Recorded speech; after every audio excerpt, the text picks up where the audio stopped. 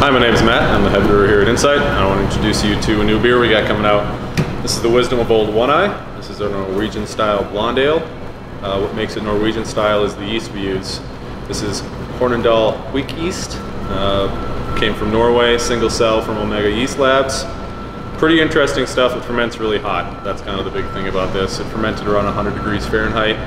Uh, in comparison, most ales ferment around 68 to 70. So this gives a nice citrus character, some really popping uh, esters that are coming out of the top of it. Very clean, very dry, very drinkable. 5.6%. Cheers.